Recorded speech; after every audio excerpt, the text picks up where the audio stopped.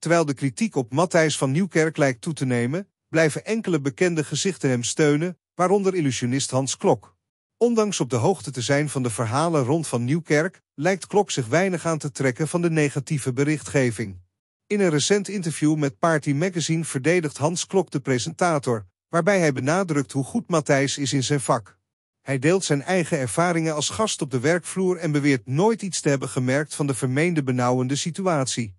Klok mist Matthijs zelfs op televisie en hoopt op zijn snelle terugkeer. Hans Klok is echter niet de enige die de verdediging van Matthijs op zich neemt.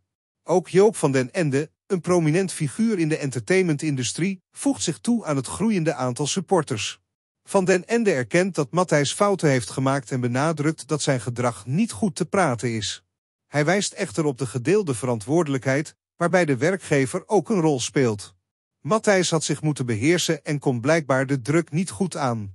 Maar de eindverantwoordelijke is in dit verhaal altijd nog de werkgever. In die zin is Matthijs ook slachtoffer, zegt Joop van den Ende, waarmee hij een opvallende nuance toevoegt aan het bredere debat rond de presentator. Terwijl de controverse rond Matthijs van Nieuwkerk voortduurt, lijken enkele bekende namen vastbesloten om hun steun te betuigen, waardoor er een gelaagde en genuanceerde discussie ontstaat over verantwoordelijkheid, gedrag en de complexiteit van werkrelaties in de media-industrie.